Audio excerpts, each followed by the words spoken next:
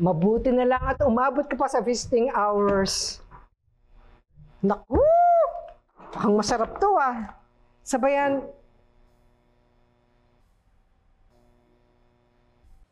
Lilet? Ah, po. Kain na po tayo. Mukhang hindi lang moral support ang kailangan mo para sa hearing mo bukas ah. Kumusta na ba yung lagay ng kaso? May present lang po na bagong impormasyon yung kliyente ko tungkol po dun sa biological mother. Pumapabor ba sa panig nyo yung bagong informasyon na yun?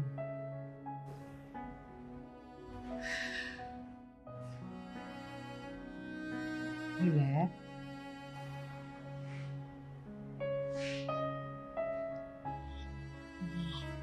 Kasi Tinang, alam ko naman po na nalapit sa buhay ko yung kaso. Hindi ko lang po talaga akalain na natitrigger ako ng ganito. Trigger? Ano? Saan? Napaisip lang po ako eh. Na kagaya din po kaya nung biological mother ng bata yung nanay ko. Ano kayang ginawa niya bago ko mawala sa kanya? Hindi ka masasagot yan. Nalulungkot din po kaya siya? Inisip niya rin kaya na malas ako sa buhay niya. Uminom din kaya siya ng alak. Nagpakalasing. Tiyantok na rin kaya yung tiyan niya. Naisip niya rin kaya na ipalaglag na lang ako.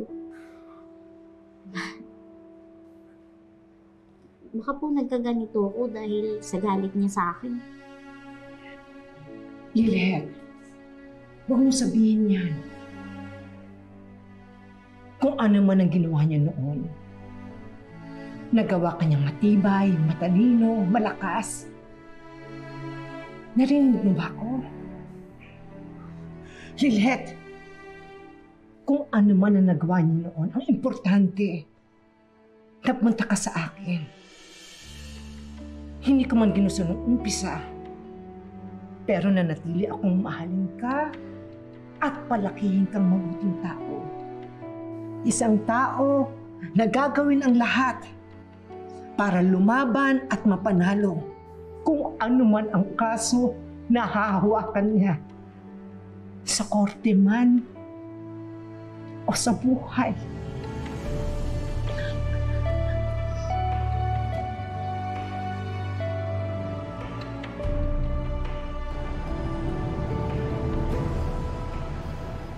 Wala to. Endgame na yung peking birth certificate ni Monica. Uy! Anong plano? Huh, Walang kwenta yung documents ni Monica kay Hope, oh. Tapos itong name niya, fit to be a mother pa, based dun sa evidence nila. Alam mo, matatalo talaga tayo kung yung mga iniisip mo lang, yung mga nabanggit mong ebidensya. Ha, ganun ba? O sige, Attorney Matias. May evidence pa ba tayo na magpapanalo sa atin? Hanggat hindi pa tapos yung presentation natin, hindi pa tayo pwedeng sumuko, hindi pa tapos yung laban. May isa pa tayong testigo. Yung psychological evaluation. Ano, may resulta na ba?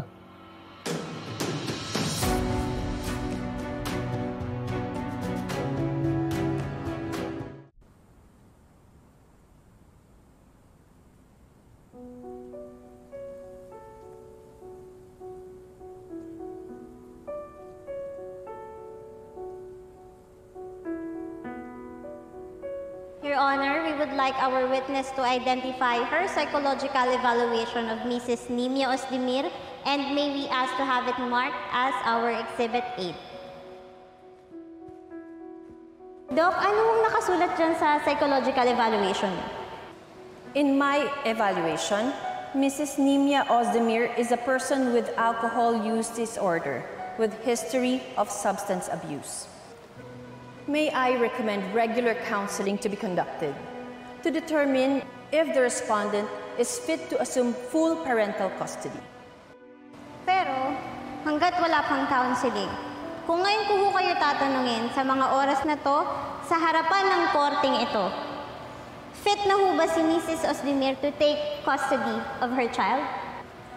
Well, prioritizing the best interest of the child.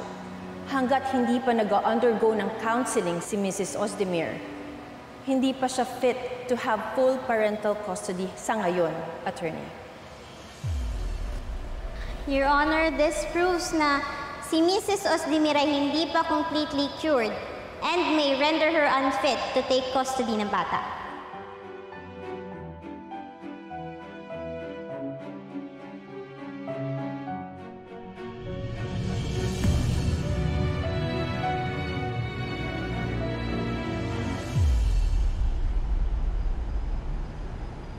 Children's Paramount Interest demand that further proceedings be conducted to determine the fitness of the petitioner to assume custody of her child. Wherefore, pending the completion of petitioner's counseling and rehabilitation that may render her fit, custody of the child is granted to the only remaining next of kin, Monica only, but subject to the petitioner's visitation rights in accordance with the March 23, 2024 order of the trial court. So ordered. Attorney, ang, ang ibig sabihin po ba nito? Oo, Monica. Sa'yo binibigay ng korte ang custody ni Hope. Salamat. Salamat. Salamat po. Salamat. Congrats. Salamat po. Salamat po. Pero si, si Nimia po, pwede pa rin naman niyang bisitahin yung bata? Oo. At pwede pa rin sila mag-file ng apela. Lalo na kung mapabuti ni Nimya yung sarili niya para maging fit parent to have custody. Nasaan na nga pala si Hope? Ah, pumasok po sa eskwelahan yung bata.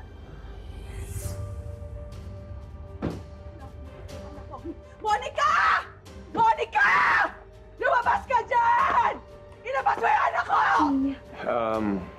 Na-receive na rin niya yung hatol.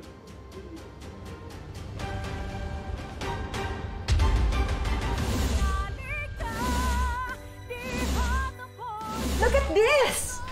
Ayaw niyang umalis maski sa social media ko. Nasayang na naman yung discreet na pambabash ko kay Lilet kay Ino. Napanalo pala niya yung case? That Lynette is a magical creature. Alam mo, she put an evil spell on all of us. Siguro hindi na ako makakapag-asawa. Saan naman nanggaling yan? Eh kasi di ba, sa sobrang busy ng schedule ng isang attorney, paano pa magkakaroon ng love life? At ang tanong, sino naman magkakagusto sa akin? Hindi yan totoo. Mali mo naman yung taong para sa'yo, nasa tabi-tabi lang.